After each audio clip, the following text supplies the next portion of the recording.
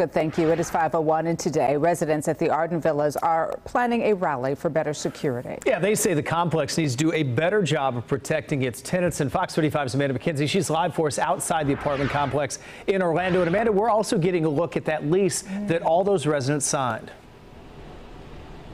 And now that those residents are going through the lease with a fine-tuned tooth comb, some say they are outraged to find that the language is so broad and it does not require the complex to provide security. Now take a look at a copy of this lease that an Arden Villas resident sent to Fox 35. It specifically addresses safety, saying in part, quote, the owner makes no representations or guarantees to residents concerning the security of the leased premises or the residential community and is under no obligation to residents to provide any security measure.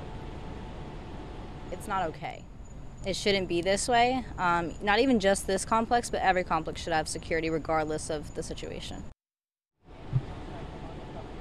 One attorney told Fox 35 that the wording of the lease is broad and vague but typical. Arden Villas says they did run a background check on Armando Caballero, the only suspect in Miya's death, and that they found no history of burglary or sexual assault in his record.